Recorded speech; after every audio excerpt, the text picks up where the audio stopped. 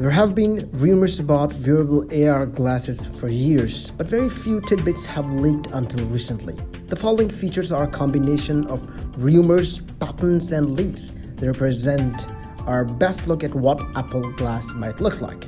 Designing an Apple Glass, there haven't been leaked photos of the actual design, but it is rumored that Apple wants these glasses to look fashionable and approachable. Apple Watch is a good place look for how Apple handles wearable designs, subtle but still obviously a piece of tech. Apple Glass could look like an average pair of glass because designing a tech product that users will want to wear on their faces is no simple task. Style, color, and even lens shape will make or break most purchasing decisions. And Apple is a company known for a one size fits all approach to many of its products.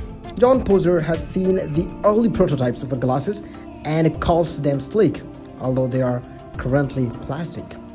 Having a high-tech glasses does not come at any ease.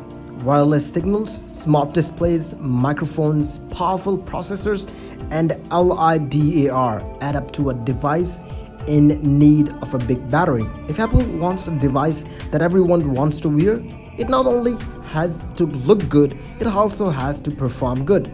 Its battery life will likely to have be at minimum of 3 hours. One aspect Apple can cut back is processing power as the first generation Apple Watch. The smart glasses could rely upon your iPhone for all processing needs and act only as a display for that information. Now consider a scenario walking on a street, somebody wearing an Apple glass, you could fear of your privacy. So, to secure your privacy, Apple does not plan on including a camera in your Apple Glass, as the privacy and social implication alone would be insurmountable. According to Jon Prosser, Apple will only have sensor like LIDAR on the frame, which allows for environmental awareness and gestures without encroaching on others' privacy.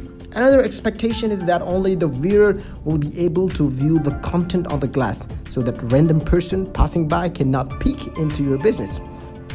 Another big feature could be unlocking your iPhone as Apple has also looked into using Apple Glass for authentication. Rather than utilizing the built-in biometrics on your iPhone, the headset could detect if the wearer is looking at the device and unlock it immediately.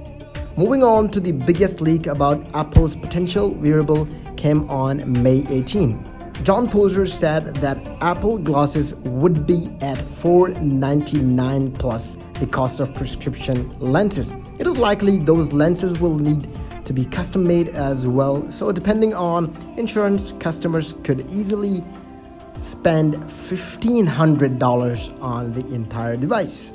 And this is how the leak, the rumors of Apple's unfold. And if you think this video helped you understand the secret behind developing an Apple Glass, please make sure to throw on your ideas in the comment box. See you with another video. Keep visiting Tixe Schooling.